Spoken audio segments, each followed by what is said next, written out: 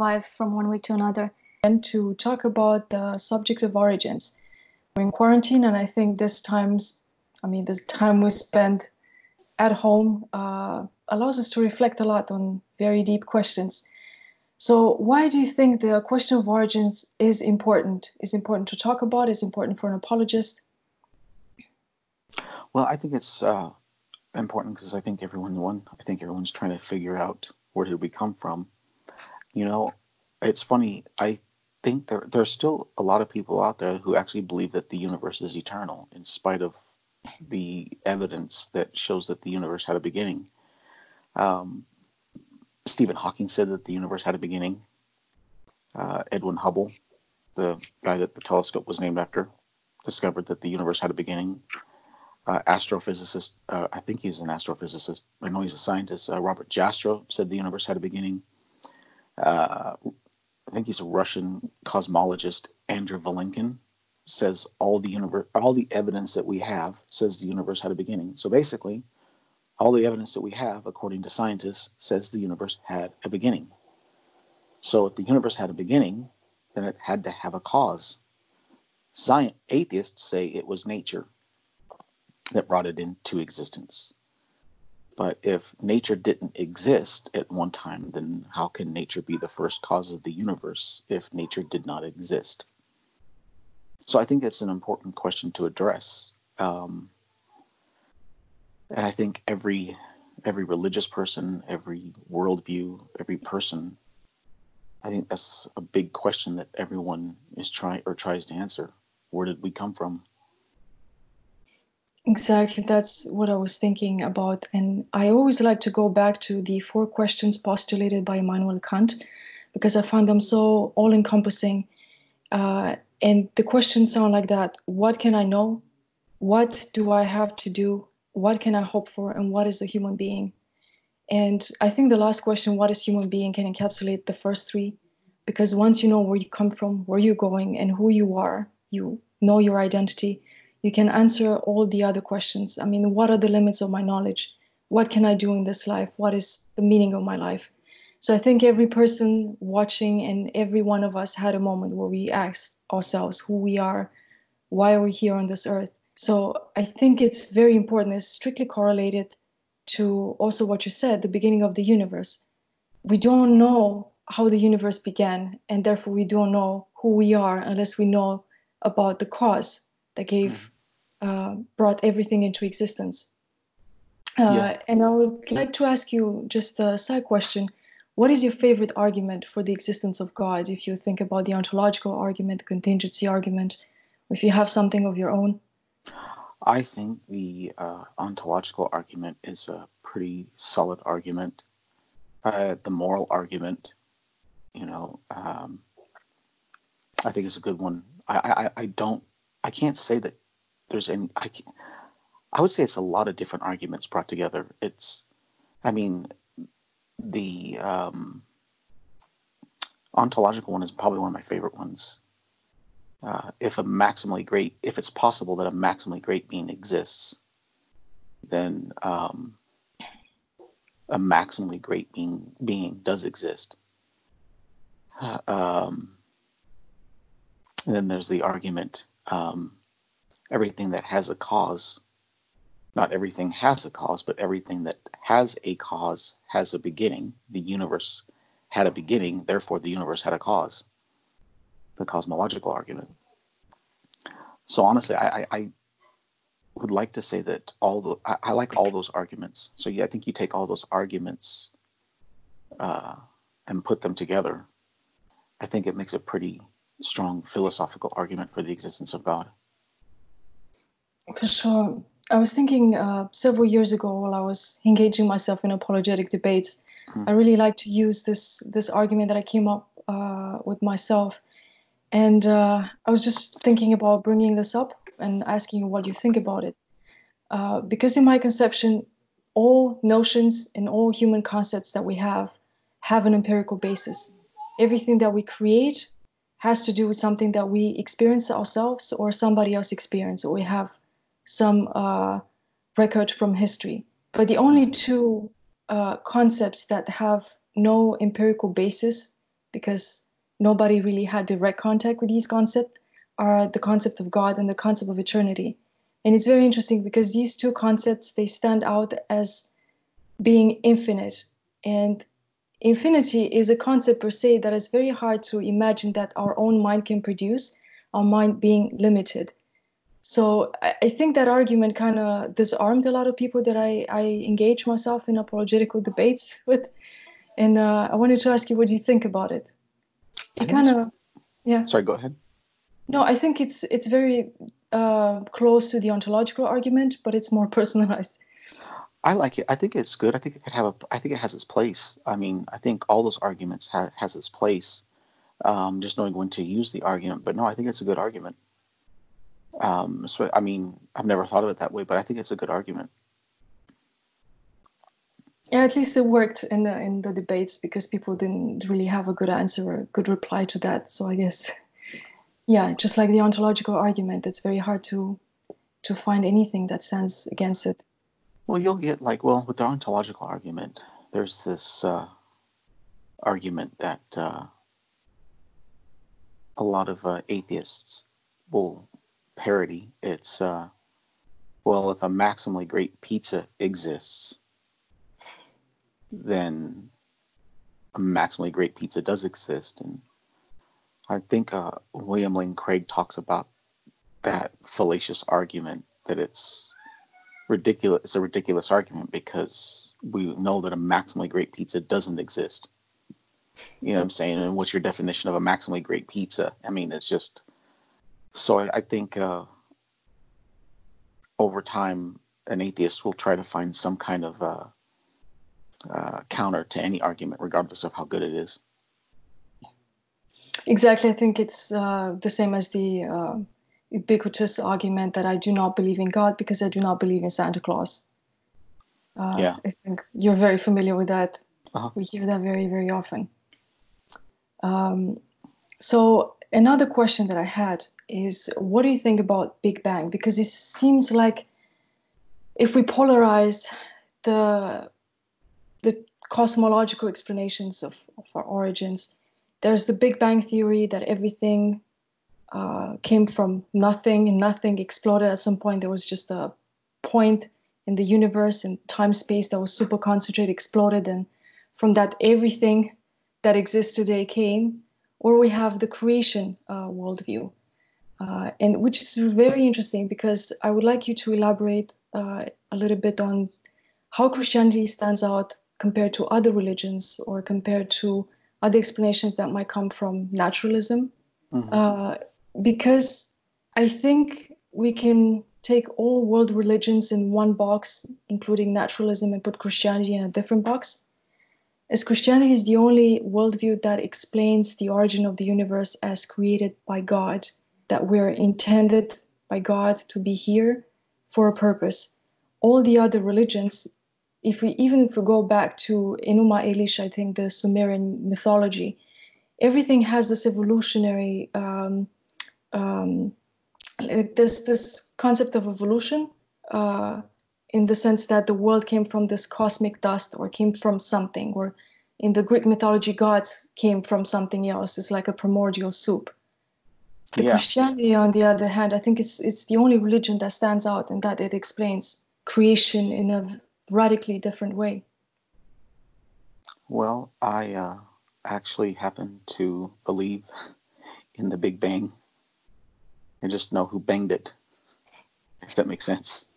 Yes. I mean, when it says in the beginning God created, okay, well, if there was nothing and he brought everything into existence, there had to be some kind of causal activity that caused everything to just kind of come into existence. So to me, that Big Bang, that whatever that was at that time, had to be massive.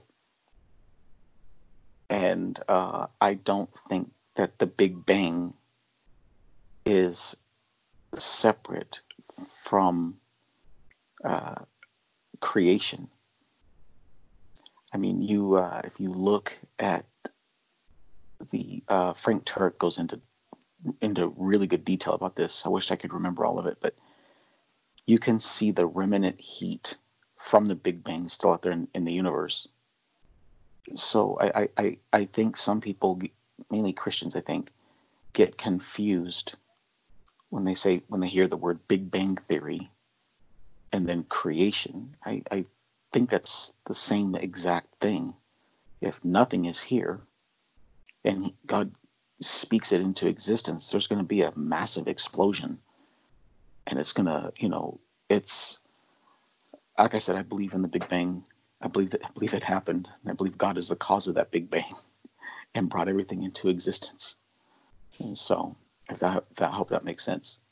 Yeah, I, I think we should make another episode and talk about Genesis, the Genesis account, mm-hmm. and why we should take it as a historical book.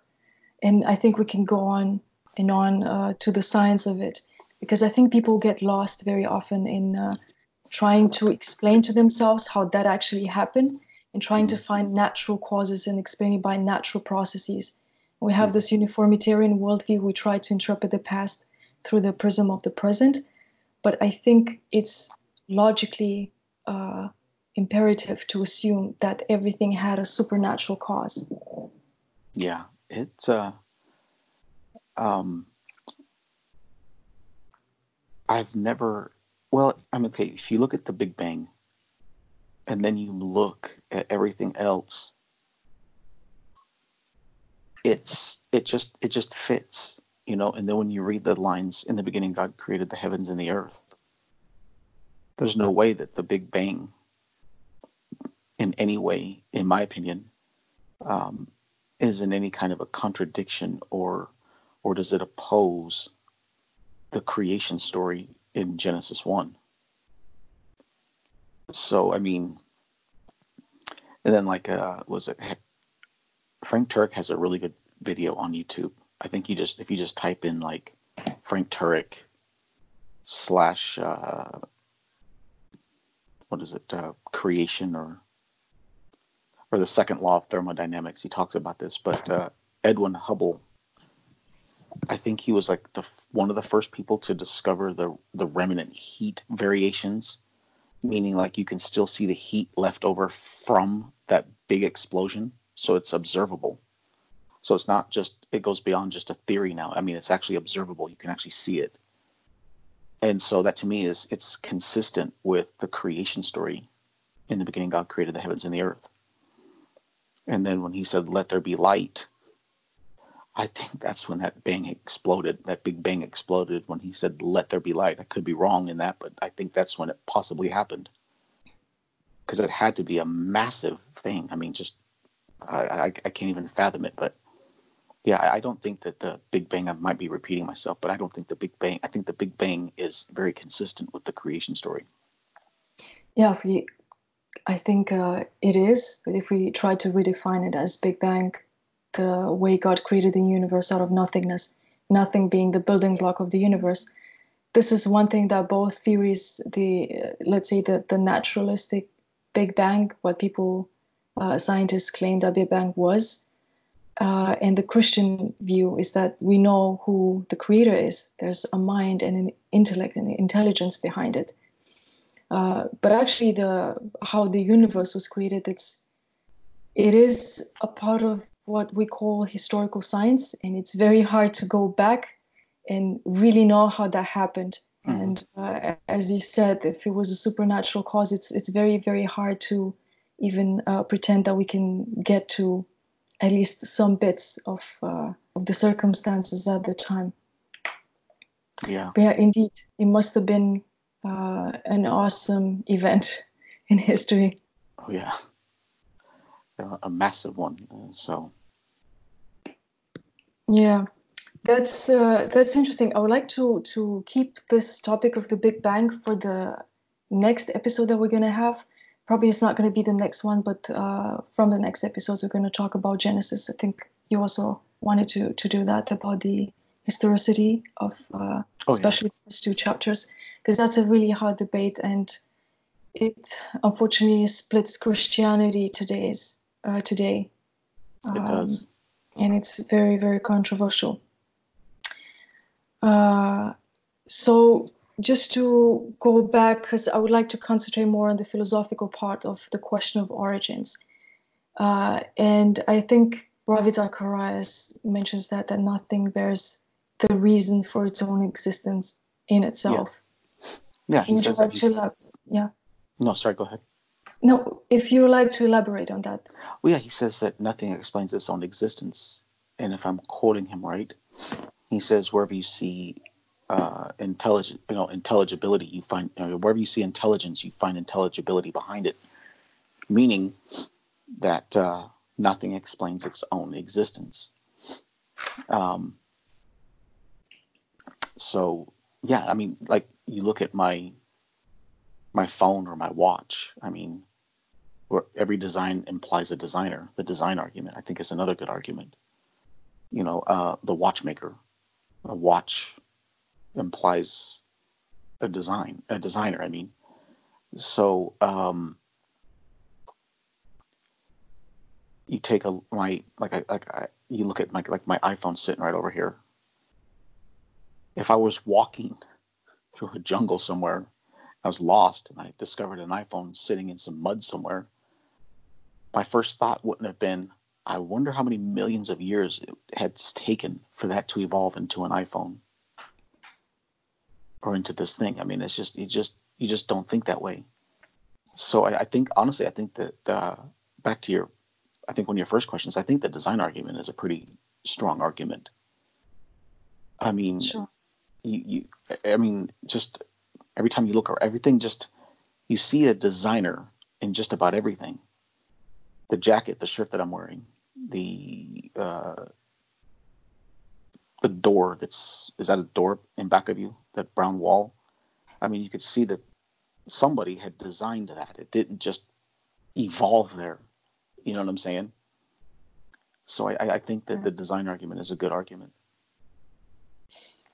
I think uh, it's not my original idea. It's been quoted so much, especially by creationists, is that it's such a paradox nowadays that we're looking for intelligence in space and we're trying to explain our origins, sometimes going to the extremes, trying to find extraterrestrial life and trying to explain how that was brought onto Earth and then we evolved from that and we're looking for any sign of intelligence in space and we forget that we have the most amazing um, proof of intelligence if we look down into a microscopy which mm-hmm. is the mm-hmm. dna and the dna is the most amazing and the most complex uh, system and code with an entire language so we have mm-hmm. so many chemical components that bind, bound, are bound to each other, and they basically create this language, this inner language, and which creates a code, and the code creates, I mean, dictates who we are, and that is a just definite sign of intelligence. It's like looking into a book and having letters and words put in sentences in the most coherent way possible, and then you write a story. And I think we can all read how complex the DNA is because it's been trying, I mean, people have been trying to decode as scientists and apparently it's decoded, but it's actually not. So these things are so evident, is as the Bible says, there are, these things are made evident ever since the beginning of the world. So we are not without excuse. Yeah, that's but true. I think what what lacks here is what what do you think lacks? What do you think people lack most that they they fail to recognize a creator God when they look at the creation? I don't think it's uh, a lack of evidence. I think that it's more about suppressing that evidence. I was listening to a, a what was it, a some kind of a lecture by uh, Lee Strobel, the guy that wrote The Case for Christ and all the different uh, series, The Case for Faith. And he had quoted um, a professor named Thomas Nagel. He's apparently he's the leading philosophy professor at uh, New York State University, and uh, he says this: he says, I'm an atheist. And he says, What bothers me, what troubles me the most, is the most well informed and well educated people I know are religious people. He says, It's not just that I'm an atheist, it's that I don't want there to be a God. I don't want the universe to be that way. So I think when you really get down to the heart of the problem, it's it's moral, not intellectual. I have had a lot of conversations with a lot of different atheists. And the longer I spoke to these different individuals, the more it became obvious for the reason for their atheism. It was moral. If there's no God, I can define morality on my own terms, and I don't have to be held accountable to anyone. I can determine, I can choose for myself what is morally right and what is morally wrong. And I can change that. If my feelings change, if I decide I don't like this anymore, I can I can change that. Very few atheists that I have talked to and they, I, I probably maybe put them more in the category of an agnostic. Um, I, I think maybe one or two, it ended up being you know an intellectual thing. They they they wanted one one atheist I spoke to said I would love for there to be a God, but I just don't believe there is.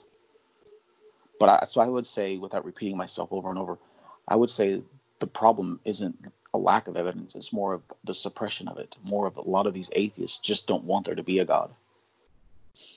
Do you also think that maybe sometimes there's also a lack of uh, just understanding logics and the, the laws of argumentation and how you build arguments? The, for instance, the laws, the law of non-contradiction.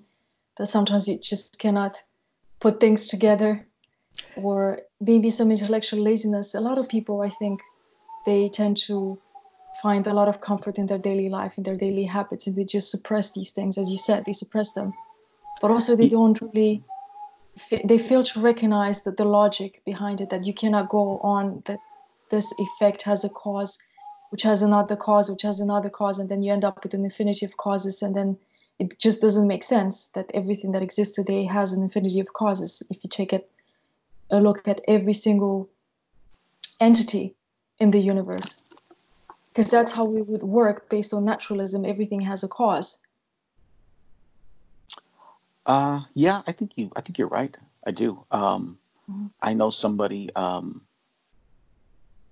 that uh i know somebody personally that uh is an atheist. He was uh married to my aunt on my mom's side.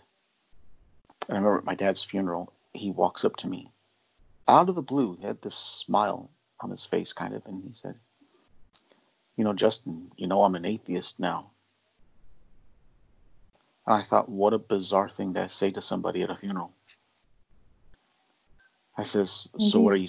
I said, so what are you saying to me? He says, well, I'm an atheist. I said, I said, okay, so what are you saying? He says, well, you know, it's just atheism is true and everything's random and meaningless and there's no purpose to life. I says, if that's true, that also applies to this conversation. and I walked away. I didn't give him a chance to respond after that. Um, I did have some time to talk to him a few months later, and uh, it was the exact same thing. I, I, with with almost like you know what you're saying, but it, it boiled down to a moral decision. And he says, "Who who? How did he say it?" He said, why does God have to have the right to tell us what's morally right and what's morally wrong? I should be able to dictate my own life, what is good and what is, you know, bad and that kind of thing. Um, and so uh, that, uh, with that being said, I think that is the biggest problem with uh, with atheism. Uh, it boils down to to morals, and so that's where I think a lot of Christians will run into trouble. Um, when talking to the atheists um, is I think the arguments that Christians should learn is they should learn the moral argument, they should learn the ontological argument, know what it says, and know how to to you know articulate it. Uh, the uh, design argument, one of my favorites, and even the contingency argument. Why is there something rather than nothing? There are things that exist contingently, and there are things that exist necessarily, like this phone that I have in my hand, it exists contingently because Apple decided to create it. Uh, numbers exist necessarily by necessity of their own nature. They exist. They didn't need an external cause. And then the uh, cosmological argument, I think, and uh, learn these arguments so that when you're speaking to an atheist, um, I think the one thing with atheists is they like to accuse Christians of being intellectually stupid or intellectually dumb. Um, and so as a result of that, they think Christianity is dumb. And so I think that uh, it's time for Christians to kind of just, you know, change that, that and show them that Christianity isn't stupid. You know what I'm saying? There might be some intellectually dumb Christians out there, but you can find that in any group. So I mean, you know, so it's just I think it's just kind of my thoughts on that. Yeah. And also the, the question of origins is strictly correlated with the question of identity. And I think that's if the humanity goes through a, a crisis, that it will be a crisis of identity today. I think everybody's craving to stand out, to be unique, uh, to know who they are actually, and how to knowing who you are um, makes you know what you have to do, what you can do, and what you can hope for. Going back to Kant. So, as Christians, how do you think we can engage based on the question of origins in talking to non-Christians? Well, I think this this is this is something that's been on my mind for a little while. One thing I see Christians doing that I think they should stop doing. Okay, um, as an old friend of mine, he's a pastor. He said, "Don't be a sniper with Scripture." You've got to stop throwing that verse out, the, out at them that says, "Only a fool says in his heart." There is no God. Well, yeah, that's true. But stop throwing that at them. Learn how to have an actual conversation with them. Learn how to dialogue with them. And the only way you can do that is by learning some of these arguments and learning what atheists actually believe and why they believe there is no God. And learn to actually talk to them when you throw that verse when Christians throw that verse out at them, only a fool says in his heart that there is no God, as if they've somehow checkmated them. And, and it, it, I think it's honestly, I think it's ridiculous. I really do. Um, not only that, it comes across as hateful. Yes, that is true. I believe that's true. Yeah, a fool does says in his heart that there is no God, but that doesn't mean that you have to use that as your tactic to talk to them. Because if we're supposed to win, try to bring people to Christ, um, you need to learn how to take the time to actually talk to these people and learn how to and, and, and, one of the greatest tools is to learn how to listen and listen to what they say. And so i think i'm getting a little off topic here but um, i think that's one thing that christians need to stop doing. Yes i know there's a lot of you know militant atheists out there and sometimes it's hard to talk to them. Trust me, it is. I've, I've talked to a lot of belligerent, militant atheists, you know, and at that point, that's where you just got to walk away from the conversation. Just okay, they're obviously not interested. If they're like um, just wanting to steamroll the conversation or or mm-hmm. or you know dictate the conversation, then that's where you just got to leave the conversation. Yeah, it's very you know? important to to recognize when the person is open to the truth. They're open to to the conversation itself, but they're just trying to provoke you. Right. Mm-hmm. Yeah, and you know, it's almost one thing I wanted to elaborate on is so when you use that when a, when a Christian uses that verse, only a fool says in his heart that there is no no God. It's almost like you're attacking them and calling them a fool directly. I mean, basically, is what it, basically is what it is. It's like you're just implying, well, you're an, you're a stupid fool, you're an idiot because you don't believe in God. Um, but then the atheist can turn around and say, well, you're an idiot because you can't prove God exists. You know, so you you've got to one, you gotta you gotta respect them.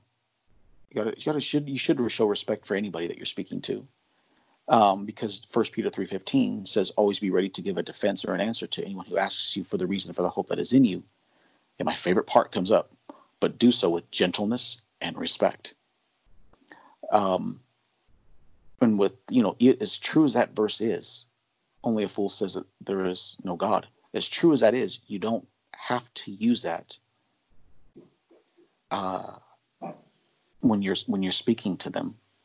Let them discover that i guess. Um, but if if a, if an atheist is actually willing to talk to you then you should be cordial you should be respectful. And listen to what the atheist is saying and learn how to have an actual dialogue, one that is built on respect. And I, I think that if you can do that, I think that uh,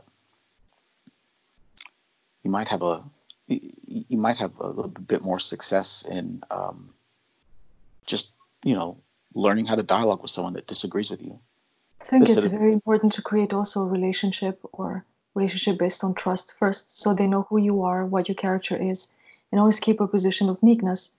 Uh, because as you said, I also noticed many times that Christians they have this they take this position of almost moral superiority towards mm-hmm. the other person, and they they feel like they're somewhat above, and they have the right to be like shooting straight fire, as yeah. you said. But we should always remember that we are saved by grace, and faith has come as a gift from the Holy Spirit. Mm-hmm. We're no in any way we're no way better than the rest.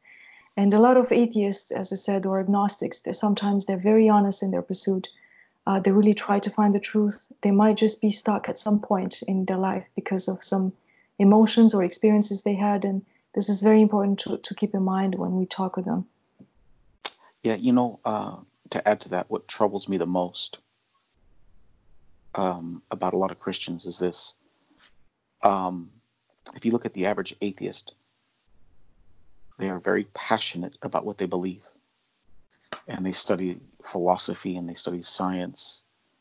And they really sure. develop good arguments. They might not be valid arguments, but they develop good arguments for what they believe. And they learn how to articulate that. The average Christian, as um, Dr. Craig says, is idling in intellectual neutral. The average Christian cannot articulate why Christianity is true outside of saying, I had a personal experience, uh, I have a personal testimony, uh, or they quote, uh, was it Second Timothy? Uh, all scripture is uh, inspired. Mm-hmm. That's as far as they get. Um, they can't really go beyond why it's true apart from that. And so I think that um, that's what's also led to. I think we're definitely getting off topic. That's what I. This is what I've also believe is what has led to the rapid numbers in people walking away from the faith, especially, you know, that from that age group of like 15 to about 23, 24, 25, especially when they get into a secular university or secular setting like that, mm-hmm. where they're surrounded by a lot of agnostics and atheists. I think I read uh, about a survey made several years ago at a university in Australia about uh, young people in first year of college. They did a survey, and 80% of them they said they were still attending church. And in second year, out of those 80%, only 12% were still attending church. Yeah, and the main reason is that they come unprepared for tough questions. They come unprepared for uh, what is out there in the world. They just base their faith on personal experience, like the comfort of their home, a comfortable environment, uh, soft feelings, soft arguments, and, and just Jesus loves you, which mm-hmm. is obviously true, but it's not enough. And when, once they, they, they're confronted with these things, they, they easily lose their faith. They see that there's no foundation. So because we're coming to an end, I would like to ask you also, I want to say that in parenthesis, once we upload these videos, we're going to post uh, in the comment section, we're going to post a series of literature or suggestions that uh, people can can check and, and read. But as a last uh, word, I would like to ask you, what would you recommend uh, young people watching us now? What should they do if they were never confronted with these questions? They never asked themselves, okay, this is important to know who we are, the question of origins, the question of morality, destiny, um, objective moral reasoning and other things what should they do? Should they go and start reading? What what should they do first? I think what a lot of these young uh, whoever watches this um, i think a lot of christians today now i do realize that there's a lot of people out there that are very passionate about apologetics. I'm one of them and i'll tell you i still have a lot to learn um, which is a good thing i think. But a lot of christians out there that haven't taken the time to study apologetics, start studying apologetics. Okay? Um, it is your responsibility to be able to articulate and give a rational defense. There's a meme out there that I honestly, it actually irritates me.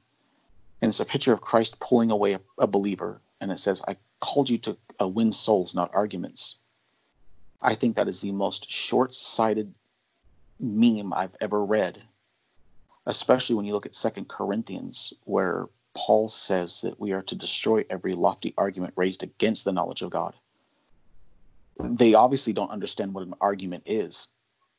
It's not uh, a heated fight and you're fighting with somebody. Everything. I mean, if if, if you said to me, uh, if Ruxandra, if you said to me, well, you know, I think I'm going to be become uh, a, a, Hindu. And I says, why are you going to be a Hindu? And he said, well, I just think it's, and you, you give me X, Y, and Z. You're giving me an argument for why you want to be a Hindu. And if I said, well, you know, Ruxandra, I don't think X, Y, and Z are true. I think A, B, C, D, and E are more true. And this is why I'm giving you a counter argument. Everybody uses arguments. Um, I've heard Christians say that philosophies of the devil and they'll sit there and tell me why. And i say do you realize you just used philosophy to tell me why you uh, philosophies of the devil? So i think it's time for christians um, to stop idling in intellectual neutral study apologetics and learn how as first peter 3.15 says give a rational answer for why christianity is true. That's that's what i think needs to happen. And when i say why it's true i don't mean this type of an answer? Well, because he saved me. Yes, Christ did save you 100%, but that's not why it's true. You're telling a person, in my opinion, what you believe. I believe that Christ saved me on the cross. I believe that. I truly do believe that. But I'm telling you what I believe. I'm not telling you why this is true. So they also need to learn the difference between that, why it's true and what you believe. A lot of times Christians will confuse the why it's true for what they believe, and they'll start sharing the gospel with you.